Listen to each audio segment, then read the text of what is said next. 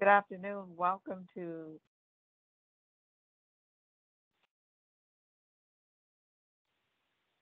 Good afternoon. Welcome to West Basin Municipal Water District Water Policy and Legislation Committee and special meeting of the Board of Directors for October, I'm sorry, for August 16th. Um, This committee meeting is called to order. Uh, Mr. General Manager, would you please um, call the roll? Director Don Dear, Here. Chairwoman Gloria Gray, Here. Director Scott Houston, Director Harold Williams. Here. Director Desi Alvarez. Madam Chair, we have a quorum. Thank you. Uh, Is there any public comment? Madam Chair, we have not received any requests for public comment, though this meeting is being held both in person and virtually. If there are any guests that would like to make public comment today virtually, please indicate so by raising your virtual hand. And Madam Chair, I do not see any requests for public comment. Thank you. Are there any presentations? Madam Chair, we do not have any presentations today. Item five, any action calendar items? And staff has no action items today. Item six, information calendar. Six A, legislative update for July twenty twenty-three. Uh, Mr. Caldwell, please. Yes, Madam Chair, uh, uh, this is our monthly legislative update. And uh, we have Matthew Bay, our Manager of Water Policy and Resources Development, here for the presentation. Right. Uh, Good afternoon. Uh, Thank you, EJ. Um, The legislative update begins on page three of the agenda packet. And printed copies of the monthly state and federal reports, along with the state bill tracking report, were provided to the directors. And I believe we're also making uh, copies of those materials available in the chat today. Um, So before I get into my state report, I, I did want to provide an, up- uh, an update on a dis- uh, discussion topic that had been requested by President Houston. Um, the topic is related to water treatment chemical costs. And staff has now researched this issue at both the state and federal levels. Um, and my research has involved working with our operations team, specifically Uzi Daniels and Susanna Lee, who have helped me analyze the cost trends and also explore um, some of the actions that have been taken to date, either via legislation or through regulations. So as, as this board knows, the cost of chemicals rose dramatically in 2021 and 2022. And this has significantly impacted our, our budget, along with the budgets of pretty much any water supplier in the country um, that uses chemicals such as chlorine uh, for the treatment of our water supplies. Uh, The reasons for the cost increases are many, um, but one of the primary drivers was due to the loss of production from chemical manufacturers. Some of the major producers closed up shop uh, over the last couple of years. Um, and then in another example, a manufacturer suffered uh, a facility accident that shut down their operations for a while as well. While the overall picture on the costs of, of chemicals is still not the best, one bit of good news in all of this is that costs do seem to have leveled off a bit for the, at least for the time being. So as part of this research process, I checked in with both our state and federal advocacy teams and also reached out to state and federal um, coalition partners to see what actions, if any, they're hearing about being taken on this issue. So on the state side, I reached out to ACWA's regulatory staff, who is very active on issues like this.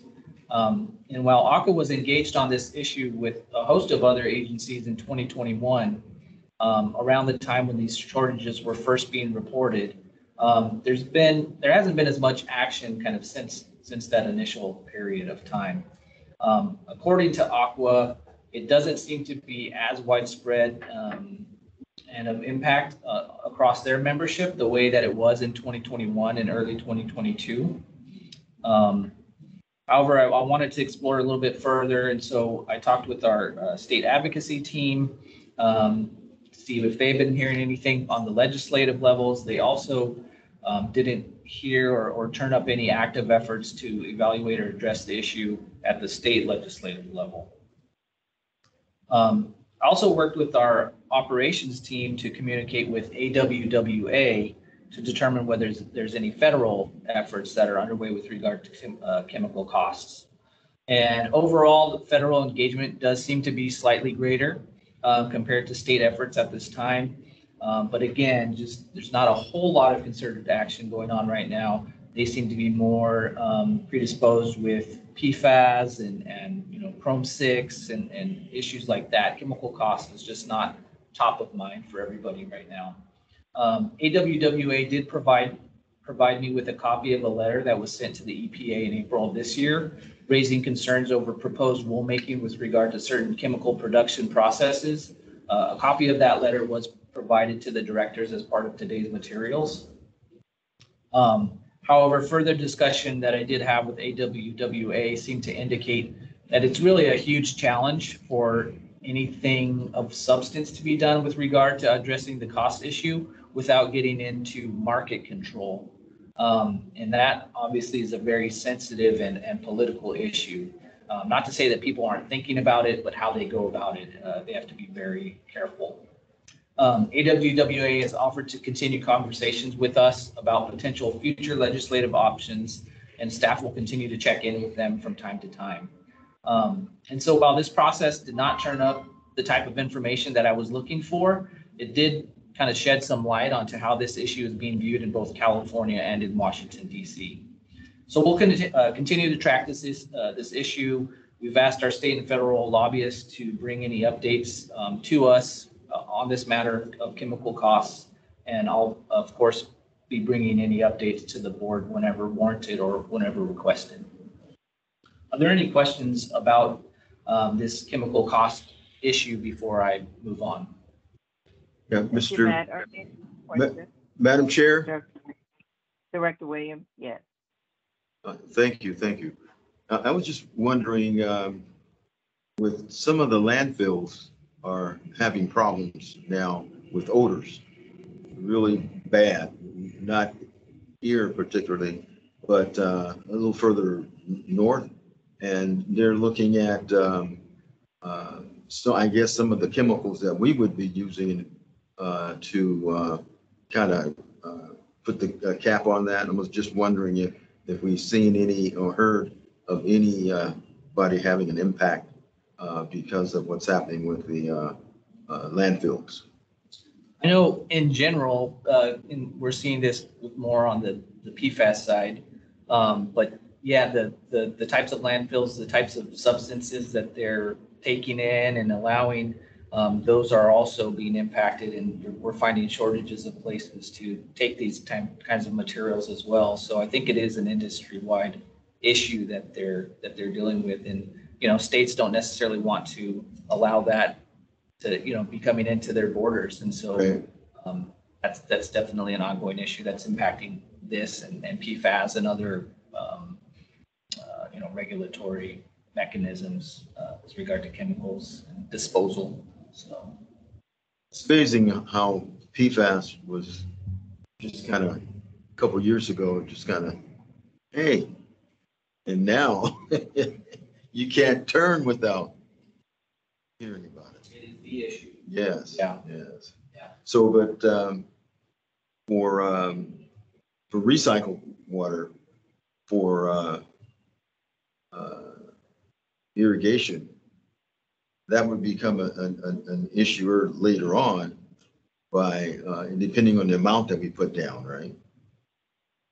In terms of, The amount of P, for Oh. us, we don't put, we don't, we don't make drinking water, right, but we do produce recycled water. yeah. W- I think it impacts us more in terms of like our solids handling and disposal, um, because that's kind of been the byproduct that Mhm. gets taken out to those, to those landfills. And then also we see some of that show up in our treatment, um, me- media. So kind of the leftover, what's in our cartridges and our filters and things like that. Mm-hmm. So those are the areas that, um, from what I hear from our operations folks, those are the areas where they're uh, more concerned. Thank you. All right. Um, if there's no other questions, at I'll. Any more questions? All right. All right. Then I'll go ahead. Okay. I'll move on to the state update. Um, I don't have an agenda packet number, but it, uh, in your materials, it's the report that's titled, uh, Niemela Pappas and Associates. Report. And so the state legislature resumed their legislative, uh, session on Monday of this week, coming back from a month-long recess. They'll have about a month to go through the remaining bills that are still alive. Um, a major remaining step is the appropriations committee, which evaluates the estimated costs of enacting the various legislative measures. Uh, The governor has also indicated that he could continue to be heavy-handed with his veto pen this year on bills with high costs. We've seen that already occur earlier this year when a number of bills were, were kind of stopped at appropriations in the original houses. Um, And then on the regulatory front, I do have a couple of updates for you today. So first, uh, the State Water Board announced in July uh, proposed reg- regulations related to direct potable reuse of recycled water. Uh, This is something that the industry has been tra- tracking for a long time. Um, And before the proposed regulations are finalized, they must go through public comment, uh, a public hearing, which is tentatively to be held on September 7th, and then some level of peer review. The goal is to conduct a board vote on the regulations by the end of the year and for the new regs to go into effect by April of next year. However, that timeline is still somewhat flexible. Um, So far, there doesn't seem to be any major concerns coming from the water and public health industries on the proposed regulations, which, which is good. So staff will continue to track that issue and provide updates leading up to the final uh, State Water Board adoption that's expected in December. The second regulatory update relates to the uh, conservation as a California way of life water use regulations. These are the pending uh, regs that would require retail water providers to meet specific water use objectives within their service areas, including residential indoor use, residential outdoor use, uh, CII outdoor use, and water loss. Um, Several delays have impacted the adoption of the regulations, which may push back some of the dates by which retailers have to begin to report and comply with those regulations. Uh, It was expected that those would start to fall in place this fall, but it's looking more now like that may be delayed once again. We are hearing that the State Water Board continues to discuss the issue of variances for recycled water use, uh, which is an area of interest for West Basin as a regional recycled water producer. Um, Our staff continues to be very active in trying to understand these regs and helping our region prepare for them. We're in the process of working with our retailers to help them get a handle on what's coming down the line in terms of compliance and reporting.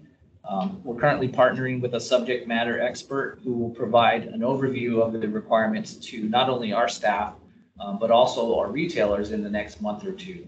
Um, Kind of waiting for the, the regulations to be finalized before we, we hold that, um, that uh, webinar. Um, And then our department also hopes to have one-on-one meetings with our municipal and county retailers uh, to ter- determine their specific needs and to answer any questions that they have with regard to those regs.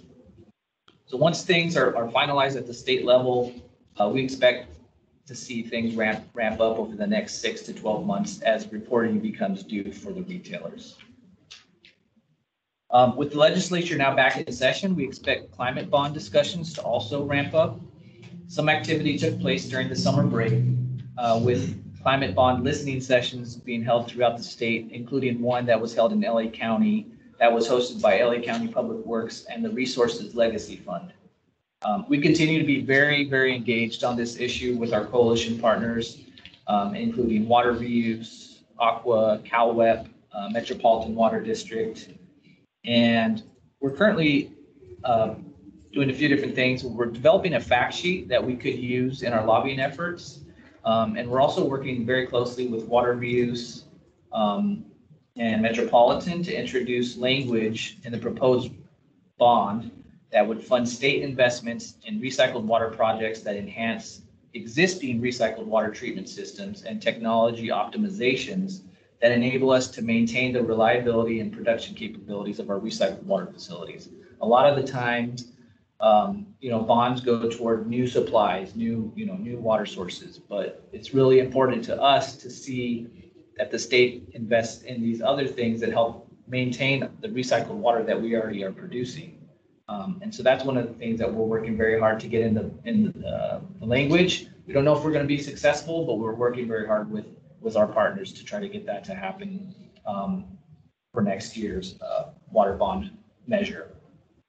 Uh, Water Reuse, who, who I said we've been working with, they're seeking one point eight billion dollars for recycled water in the bond. Um, however, the actual number that the legislature approves for the measure will likely be lower.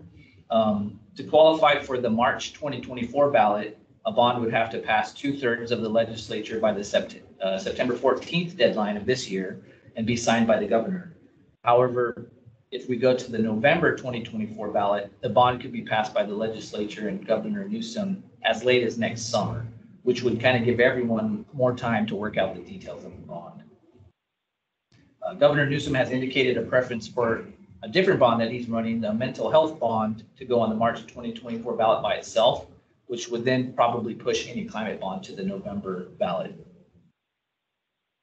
Uh, As for other legislative updates, I wanted to touch on a bill that this board uh, supported earlier this year, but that didn't make it out of its House of Origin. Um, That bill is AB 735 by Assemblymember Marc Berman. Uh, And this was a utilities workforce development bill. I know this was something um, that Director Gray had, had really uh, expressed an interest in. And so just wanted to report back on that. Uh, The bill's currently on pause, um, and it could certainly come back in, a- next year in a new body, which we hope, we hope it will. Uh, But we know that workforce development is an issue of great importance to this board. So staff will continue to engage on this issue in the coming months during the break, the legislative break, including uh, speaking with the author's office about the need for the bill, you know, again, which hopefully we can get it back um, onto the legislative, um, into the next legis- uh, legislative session, uh, how it will support our industry and many of the students and young professionals from the communities that we serve.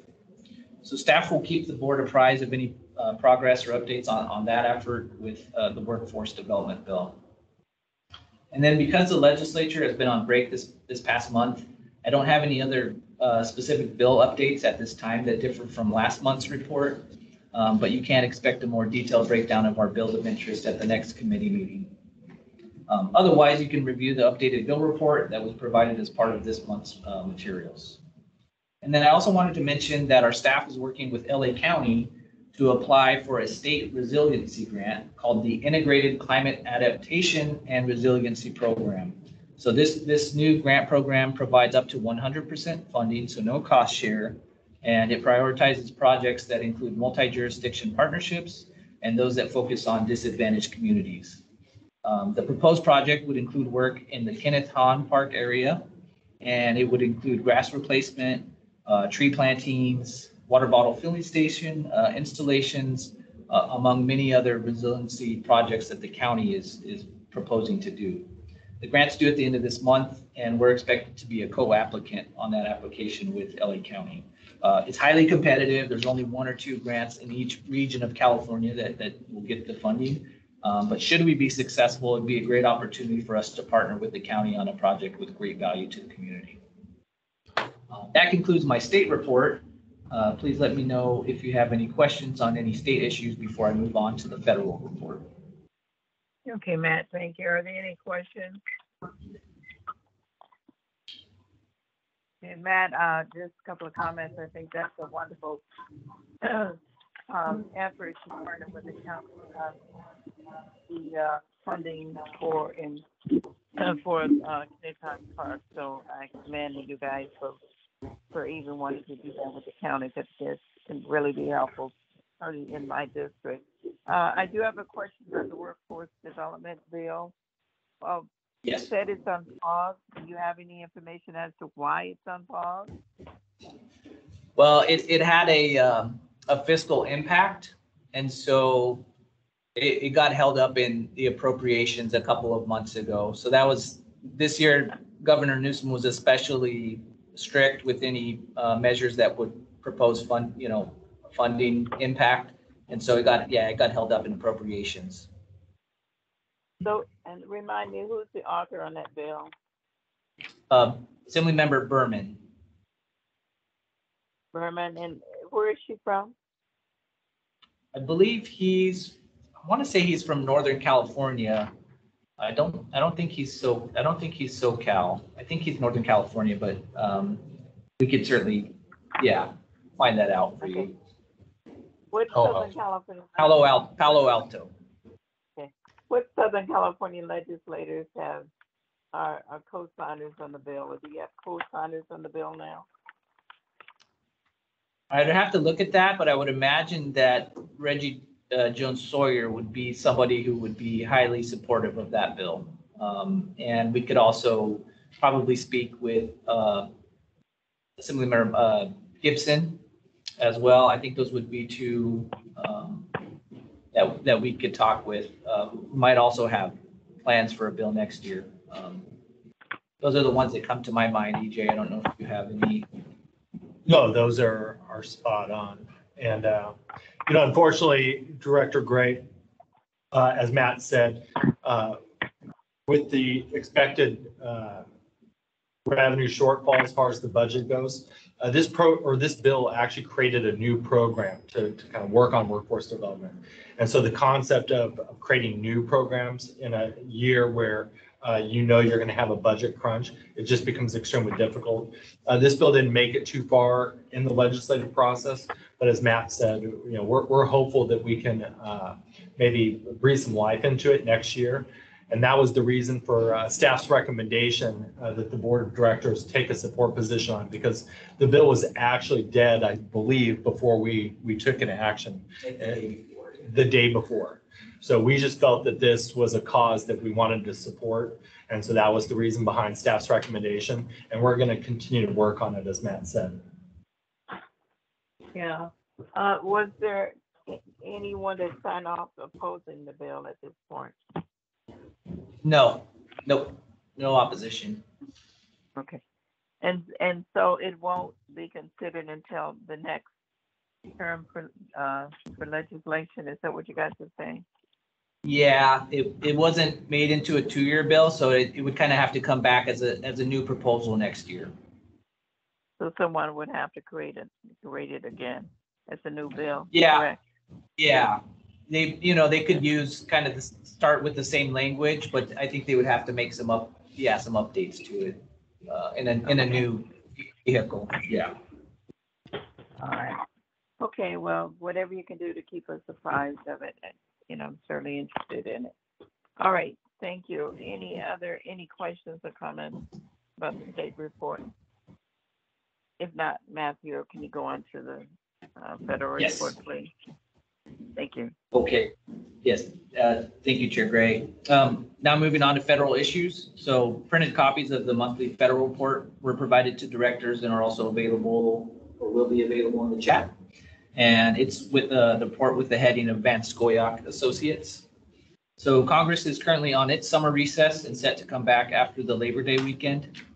Uh, Progress is being made on, on passing fiscal year 2024 congressional appropriations bills However, there's still a bit of work to do, which makes the possibility of a short or long-term continuing resolution, which provides a temporary budget stopgap highly likely. Uh, The goal of Congress would be to try to get all the funding bills passed by the end of the calendar, uh, calendar year, or at least by the beginning of, of um, 2024. On July 19th, the Senate Natural Resources Subcommittee on Water and Power held a hearing to discuss a number of Western focused water bills. One of those was uh, Senate Bill 2162, which is Senator Feinstein's Stream Act, which would reauthorize a number of different Western water programs, including recycled water and desalination.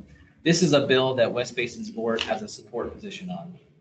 The Senate is also holding hearings on the 2024 Water Resources Development Act with a focus on climate change and how it is affecting drought and rising sea levels. It's also evaluating how to optimize uh, U.S. Army Corps' operations to reflect the new challenges of, of climate change.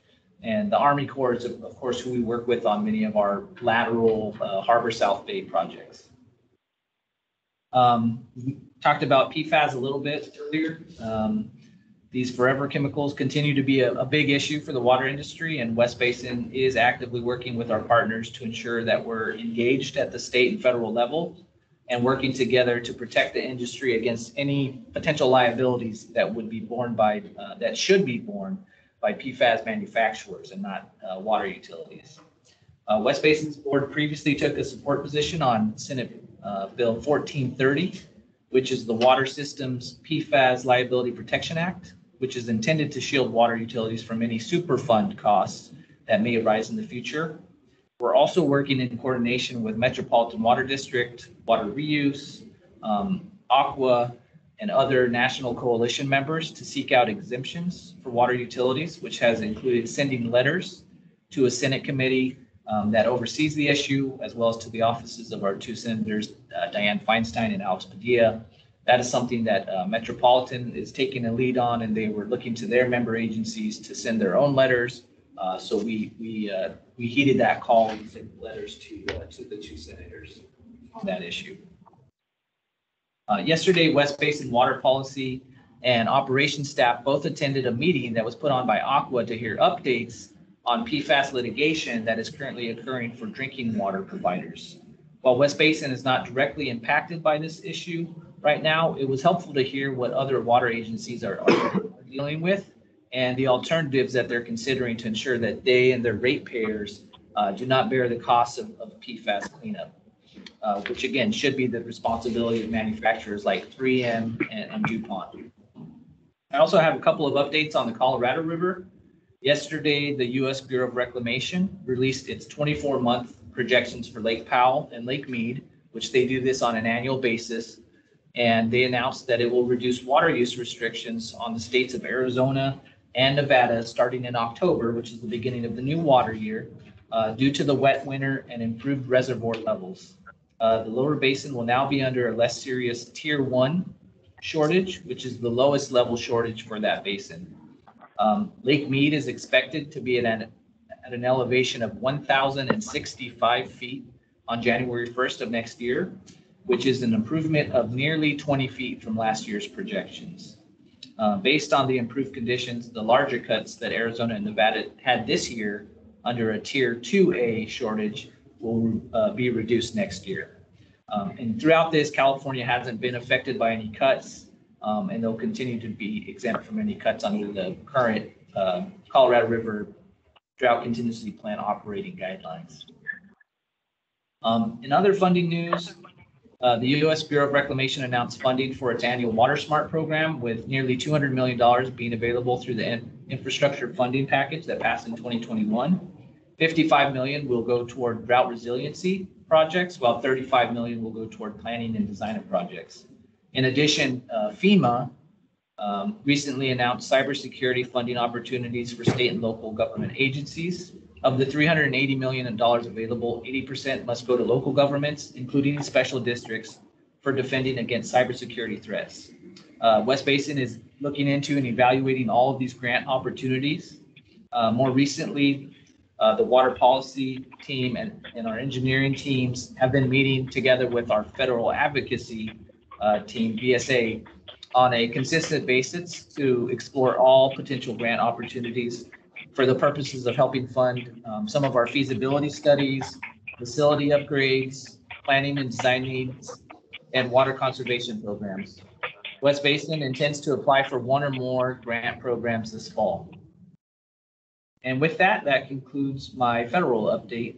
Uh, Additional federal issue, um, report issues can be found in the monthly VSA report. Uh, I'd be happy to take any, any uh, other questions from the board.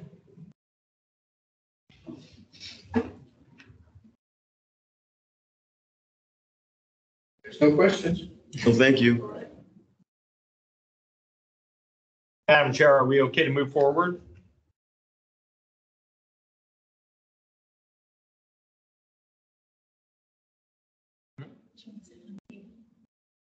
Madam Chair, I believe you're on mute. Hear me? Okay. Yes, please move forward. Okay. hear me? The next item that we, yes, we can. The next item that we have for you is item six B under the information counter. It's our monthly Metropolitan Water District Program update.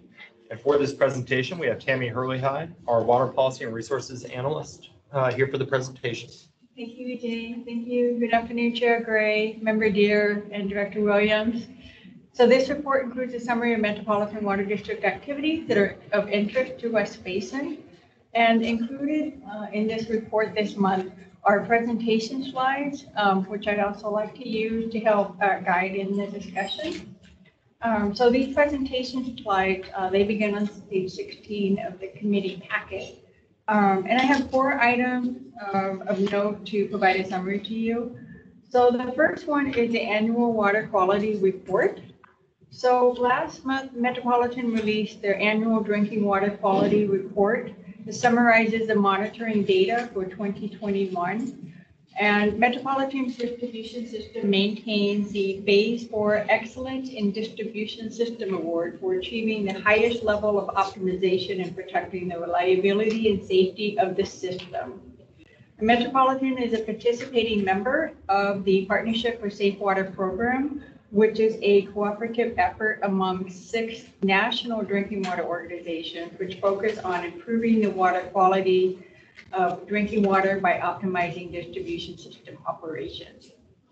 And uh, a link is also provided in the written report to access a copy online for those interested. Um, And if we can go to the next slide, the second item is a uh, look at the climate adaptation master plan for water.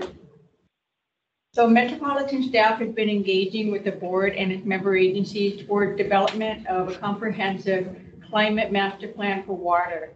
Um, but we also refer to this as the CAMP process, It's the acronym C-A-M-P. So this slide shows the planning process. And this effort began last February during the board retreat, where they discussed uh, reassessing how Metropolitan would define the core concepts of the climate change impacts that are related to water supply resiliency, reliability, financial sustainability, and affordability. So since then, they have coordinated several workshops with the board and committees. And the shaded areas, columns, uh, are where, it indicates where they are right now in this process. And recently, Metropolitan staff um, has engaged both the member agencies and the board um, in an effort to gain a mutual understanding um, and agreement on the terminology that will be used moving forward towards the planning document that they are developing. Um, The terminology will evaluate the climate master plan, the criteria, and also identify scenario planning. Also, they have reviewed recently the integrated regional plan, the IRP, um, the needs assessment to define the range of water supply needs for a potential climate change scenarios. And they will also be using this as a tool to evaluate the water supply and shortage solutions in this planning process. So this is a very comprehensive um, planning effort, and it will continue in the next uh, coming months through several different phases. So we will continue to keep you apprised and updated as to how this is evolving and developing. So the next item on the next slide, uh, just wanted to point out that in July, on July 25th, the Metropolitan staff had presented a very comprehensive overview of the Bay Delta. Um, This included a lot of uh, items that are listed here on their agenda. This was a two, uh, two and a half hour workshop. Uh, It was pretty lengthy, but it really just kind of coalesced everything that goes on um, in Metropolitan's activities over the past several years along the Delta. And so just for those interested, a copy of the presentation slides are uh, also can be accessed online, and that link is provided in the Richard report for those interested. And then the next item is the proposed tree rebate program. So uh, in July, Metropolitan staff presented a new option that could be included in their existing turf removal rebate program, which would include rebates on trees. And that concept emerged from the Water Use Efficiency Program Advisory Committee, which is comprised of member agencies and local retail agencies as well. And they look at new technologies and review potential programs. So they brought this forward to Metropolitan staff for consideration. And uh, the staff had brought that to the board and committees um, in July, as I had mentioned, uh, for information and then also uh, more feedback. Um, If we can go to the next slide, please. So the board, uh, they've gained a lot of positive feedback on this program. And uh, the board did end up approving this just this month, just yesterday at their board meeting. So there will be a new rebate available for trees. And this would be available to both residential and commercial properties. The rebate amount would be $100. And the, the program would allow for a rebate of up to five trees. Um, it would only be available to those who are applying for the turf removal rebate program. And one new tree would be the equivalent of three new plants. That's how they kind of work that into the program. Um, yeah, so I just wanted to share that a little bit of good news. And so just for the board agenda look ahead, uh, this is what they had listed on their board meeting for August. Um, they just had that yesterday. So one was to approve the nomination and renaming of Metropolitan Pure Water Southern California Demonstration Plant, which is now the Representative Grace Napolitano Pure Water Southern California Innovation Center. Um, just wanted to point that out. Uh, they did adopt a resolution establishing the ad valorem tax rate uh, for fiscal year 23-24, And also, um, the uh, assessed valuation reporting was available yesterday, and this information has been provided to the West Basin Board uh, for your information as well. Um, And then I can provide a little bit more um, written report on that next month. Um, And then they also discussed, a discussion on phase one draft long-range finance plan. It would be their first discussion. They will have another discussion. And then this is going to be a process they'll look to um, consider adopting a long-range finance plan towards the end of this calendar year. Um, They really want to spend a lot more time um, weighing in on a lot of, a lot of the aspects that are related to that. Um, And that's pretty much it. So we go to the water supply update. And on the last slide, we have um, just a look at the graphs that we show every month. Um, So on the green shaded area in the State Water Project for Lake Oroville, the reservoir uh, shown, it indicates 3.54 million acre feet in storage. And Lake Oroville currently has um, uh, 1,000, or I'm sorry, 1.79 million acre feet more in storage compared to last year. And the San Luis Reservoir also remains full, and it has 495,000 acre feet more compared to last year. And looking at the blue shaded area for the Colorado River resources, Lake Powell's forecast for the inflow is 145% of normal. And then, um, let's see, year. So Lake Mead, the elevations has also been increasing, and you heard um, from Matt, it will continue to increase. Um, So that's good news. Um, So Metropolitan does have a water supply surplus, as I mentioned um, last month. And they have, as you know, 100% allocation on the State Water Project and the supply from the Colorado River. Um, And then with their demand, they're really just half of what their supplies are. So Metropolitan does expect to end this year with record amounts of storage in their dry year storage account, all the way upwards of 3.4 million acre feet. Um, And they continue to manage this excess supply to meet future demand of water. And they're working with their member agencies to um, deliver um, more water into the groundwater um, system and local groundwater basins. Um, And they anticipate uh, delivering over 1 million acre feet into storage this year. Uh, So that's good news. They're, they're working hard to try and find a home for all of this water. So that concludes this report. I'd be happy to answer any questions that you may have. Thank you, Tammy. Are there any questions? Nope. Hearing, hearing none. Uh, EJ, can you go to the next item on the agenda, please? Madam Chair, that concludes our information calendar. Uh, The next item that we have on the agenda is closed session, and we do not have any closed session items, which brings us to uh, director's comments or future agenda items. Okay, thank you. Directors, do you have comments? Director Williams or Dear? Hearing none, I'd just like to thank staff this morning for your very thorough report. Thank you very much. And uh, with that, we will adjourn this meeting. Thank you very much, staff and board members. Bye-bye.